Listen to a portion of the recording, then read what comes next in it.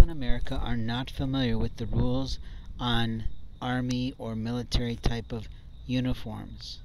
The truth is that there are rules that say that you cannot resize them and you are not allowed to haze someone's uniform, meaning cut the bottom of the pants or slash the pockets or resize the uniform so it doesn't fit the person comfortably for movement.